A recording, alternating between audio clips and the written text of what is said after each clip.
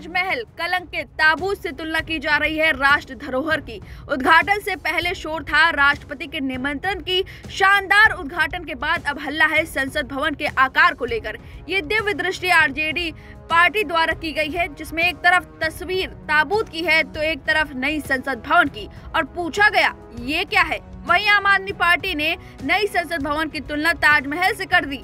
आप आदमी पार्टी नेता और दिल्ली सरकार में मंत्री सौरभ भारद्वाज ने कहा, एक शहनशाह ने ताजमहल में मुमताज़ को दफनाया था और पूरी दुनिया देखने आती है। आज एक शहनशाह ने संविधान दफनाया है और पूरे दुनिया अब उसे देखने आएगी जेडीयू ने नए संसद भवन के उद्घाटन को देश के लिए कलंकित करने वाला बताया है। जेडीयू के एमएलसी नीरज कुमार ने कहा, नए संसद का उद्घाटन तानाशाही और देश में मोदी इतिहास लागू किया जा रहा है। नए संसद के ज़रिए देश के कलंक का इतिहास लिखा जा रहा है। अब सोशल मीडिया पर इन वायरल ट्वीट के बाद बीजेपी ने तो जमकर लताड़ा ही। साथ ही सोशल मीडिया पर भी लोगों ने प्रतिक्रिया दी है। एक ने तो जब आरजेडी ने लिखा कि ये क्या है तो उसी के पलटवार में आरजेडी के जो चिन्ह है, उसका, उसको ही पलटकर ऐसा प्रदर्शित किया कि देखिए, ये भी ताबूत जैसा ही दिख रहा है जो देखने में इस पोस्ट को आप साफ़ साफ़ बता सकते हैं ये यूज़र क्या कहना चाहता है।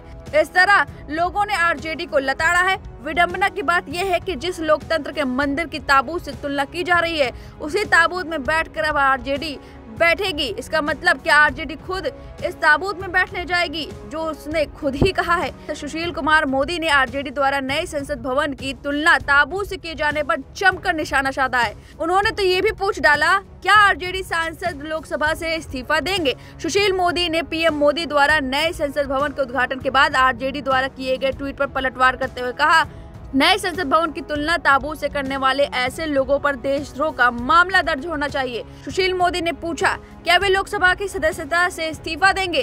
राज्यसभा सदस्य सुशील मोदी ने आगे कहा, आज भले ही सभी दलों के लोगों ने भवन बहिष्कार किया है, लेकिन कल सदन की कार्यवाही तो वही चलने वाली है। क्या राष्ट्रीय जनता दल ने यह तय कर लिया है कि वे नई संसद भवन का स्थायी रूप से बहिष्कार करेंगे? क्या वे लोकसभा की सदस्यता से इस्तीफा देंगे?